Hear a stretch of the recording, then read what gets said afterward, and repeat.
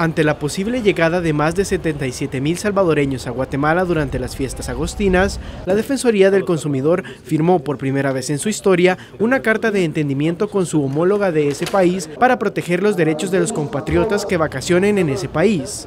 Este tipo de esfuerzos es muy importante. ¿Por qué? Porque realmente la protección al consumidor no tiene fronteras. Independientemente de donde nos encontremos, los consumidores tenemos derechos y esos derechos eh, deben de, hacerse valer y es por ello que nuestras instituciones hoy en día están hermanadas y están buscando eh, accionar. Si hay guatemaltecos que visitan El Salvador, o eh, salvadoreños que posteriormente a realizar su visita en Guatemala regresen a nuestro país y exista alguna dificultad que se haya presentado en alguno de los servicios, puede contactarlos al 910 o también a nuestro WhatsApp el 78 60 97 04, asimismo la Defensoría en línea y nuestra app Defensoría 2.0 que puedan descargarla.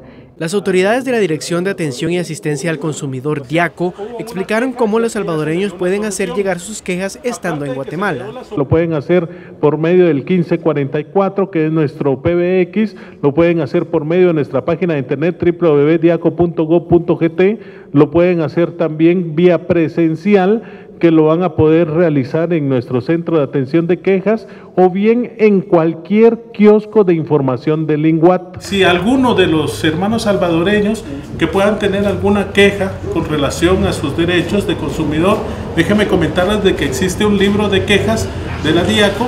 Esto está en todos los comercios de Guatemala, no solo en la antigua Guatemala, sino que en cualquier institución comercial este libro de quejas ustedes pueden anotar sus quejas si podemos observar, están debidamente autorizados y acá está el instructivo de cómo poderlo utilizar. Teniendo en esta parte de acá el nombre del consumidor, eh, la dirección, si en dado algún caso fuera salvadoreño, por favor colocar que es salvadoreño, el número de teléfono del Salvador para que nos podamos abocar con ellos por parte de la Defensoría del Consumidor en El Salvador, ¿verdad? el documento que acredita la queja. Aquí en Guatemala todos los comercios están obligados a dar factura. Por esa razón ustedes deben de anotar acá el número de factura que les están dando. Si en dado algún caso no les dieran factura, la deben de exigir. Ese es un requisito que tienen todos los comercios en Guatemala. Donde dice queja, van a colocar ustedes la queja que tienen. Es solo un ejemplo.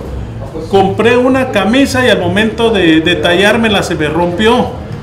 Entonces eh, aquí pueden anotar la queja y en esta parte donde dice solución es el espacio que utilizan los proveedores o el dueño del comercio para solucionarlo.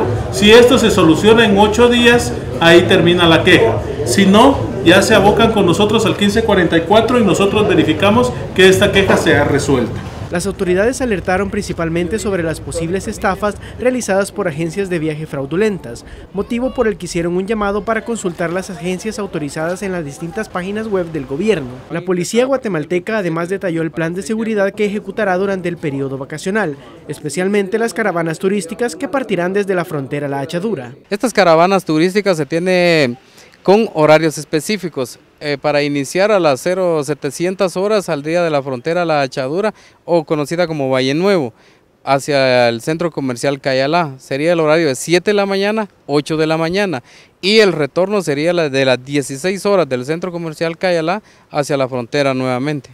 El convenio fue firmado en la ciudad turística de Antigua Guatemala, una de las más visitadas por salvadoreños. Este es un informe de la.